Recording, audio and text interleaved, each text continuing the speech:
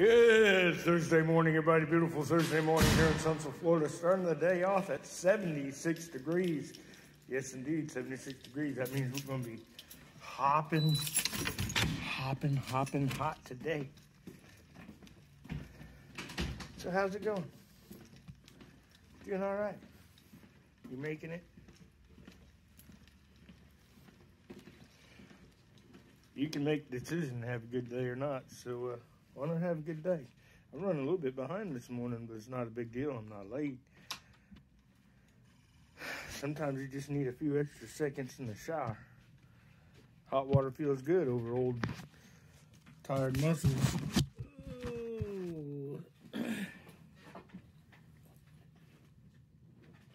Something I want you to think about this morning. If you were on a path for success, and you fell from that path, fell from the graces, so to speak,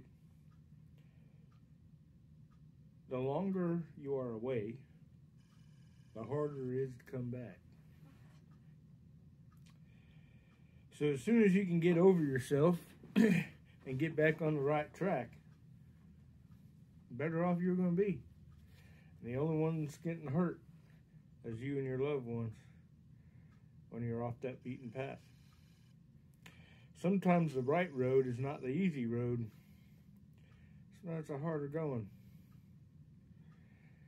Get you a good support team. If you got one or two good friends that you can tell anything to, you're doing a lot better than most people.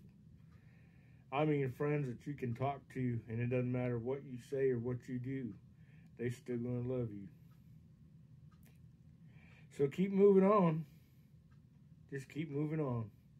And don't let your mistakes drag you down. Y'all good?